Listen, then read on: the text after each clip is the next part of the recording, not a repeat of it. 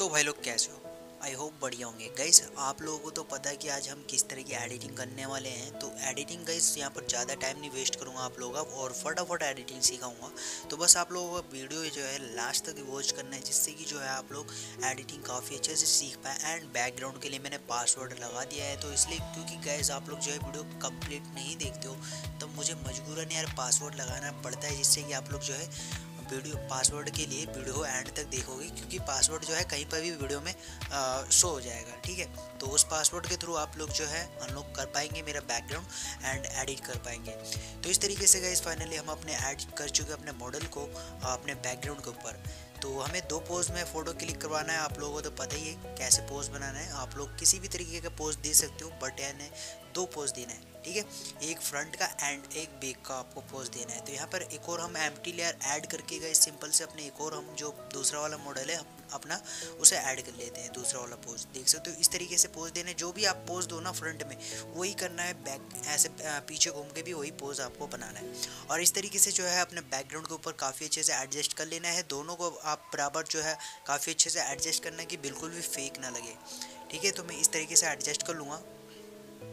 And यहाँ पे finally adjust हो जाने के बाद सिंपल से हम करेंगे क्या यहाँ से done sorry M P layer हम पहले देखेंगे। ये हमारा जो चीज़ है ना, मैं भूल गया था ये।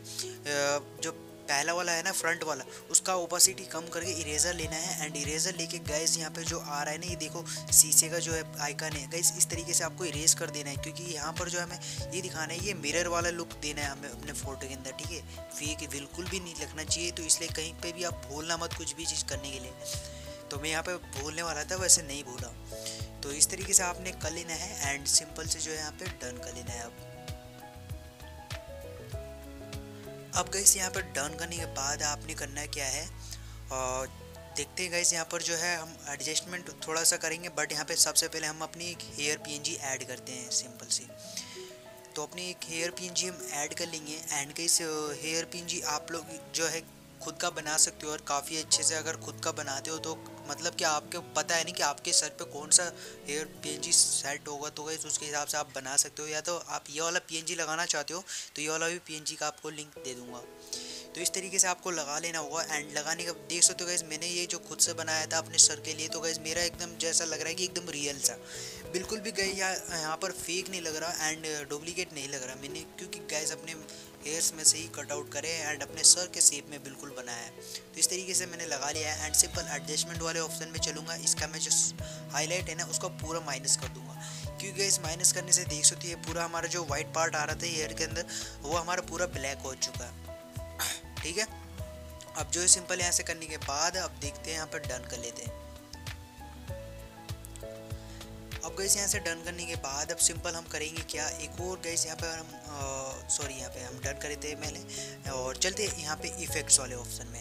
एंड इफेक्ट्स वाले ऑप्शन में आने के बाद ब्लर वाले ऑप्शन में आएँगे। एंड यहाँ पर लेंस ब्लर का ऑप्शन होगा एक, उसे आपको सिलेक्ट करना होगा।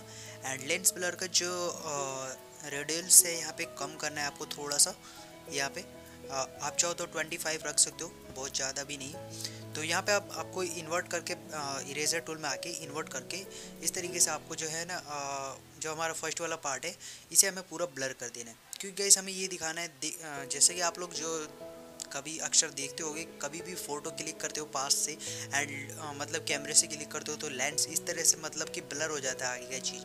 तो कहीं पे हम फोकस करते हैं। तो इस तरीके से हम लुक दे रहे हैं इसके अंदर एकदम रियलिस्टिक वाला लुक। तो यही भी एज जो ये वाला लुक है एज इट इज़ एकदम विजय मार के फ़ोटो में था।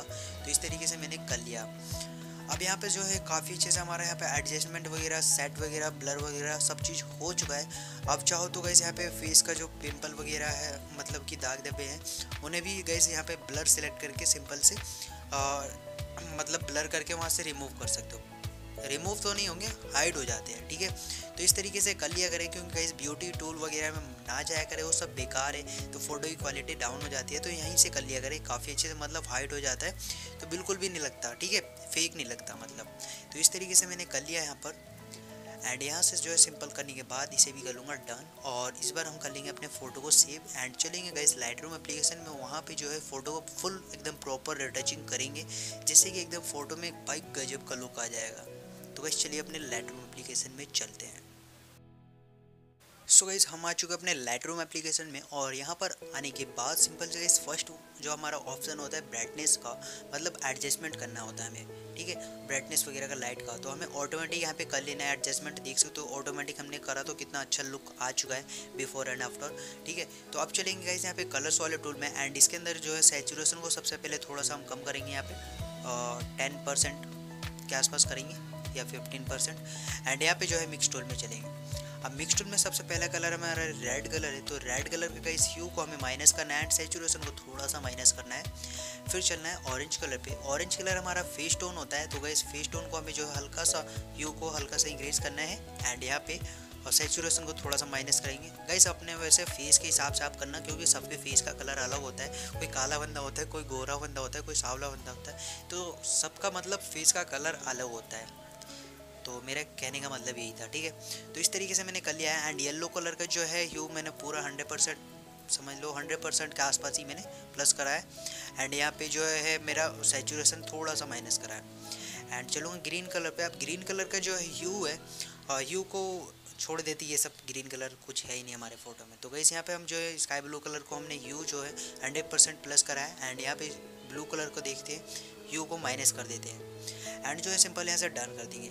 अब डन करने के बाद गई एक हमें कलर का टोन देना होगा, जो कि गैस हमारे फ़ोटो में प्रॉपर एकदम आना चाहिए, विजय मार वाला टोन तो हमें पहले यहाँ पे क्लियरिटी इंक्रीज कर लेते हैं एंड विगनेट को थोड़ा सा देखते हैं, यहाँ पे माइनस कर लेते हैं। एंड चलते हैं यहाँ पे स्पेली टोन में। अब स्पेली टोन में हम जो है कलर का यहाँ पे टोन देंगे अपने फ़ोटो के अंदर, जो कि विजय मार वाला जो कलर है फ़ोटो के अंदर वो चीज़ आ जाए। तो जो हाईलाइट वाला ऑप्शन है उसे थोड़ा सा खसका के यहाँ पे बस हल्का सा लेके आना है ऑरेंज और येलो के आसपास, ठीक है? एंड नीचे वाला जो कलर है, उसे हमें ब्लू कलर के आसपास में लेके आना है, हल्का सा बिल्कुल यहाँ पे देखना। है काफ़ी अच्छे, नीचे में ही रखना है ऊपर ज़्यादा मत ले जाना, नहीं तो ज़्यादा कलर आ जाएगा तो अच्छा नहीं लगेगा। बैलेंस को थोड़ा सा बढ़ाएँगे सिंपल यहाँ से डन करेंगे। अब गई से हमारा फाइनली देख सकते हैं और टोन हमारा विजय मार वाला आ चुका है एंड हमारा एडिटिंग भी एज इट इज़ वैसे ही हो चुका है। अगर कलर वैसा नहीं आया है तो आपको आना है करप टोल में एंड करप टोल में आके थोड़ा सा कैसे ब्लू कलर का हमें जो है हल्का सा मतलब ऊपर से इंक्रीज कर देना है। हल्का सा लगेगा कि एकदम मस्त वाला लुक ठीक है? तो यहाँ जो सिंपल डन हो चुका है हमारा एंड हमारा फाइनली यहाँ पर पूरा प्रॉपर एकदम फ़ोटो एडिटिंग हो चुका है। ये देख सकते हो बिफोर हमारा पिक्सार्ट का एंड आफ्टर देख लो हमारा लाइट रूम से जो रोटेचिंग करा है। तो आशा करता हूँ कि आप लोग जो है एडिटिंग पसंद आया है एंड आप लोग जो है काफ़ी अच्छे से सीख पाए हैं। तो सीख पाए तो एक लाइक करना है यार, ज़्यादा कुछ नहीं। और कैसे ऐसी किसी नेक्स्ट एडिंग वीडियो के साथ मिलेंगे। जब तक के लिए टेक केयर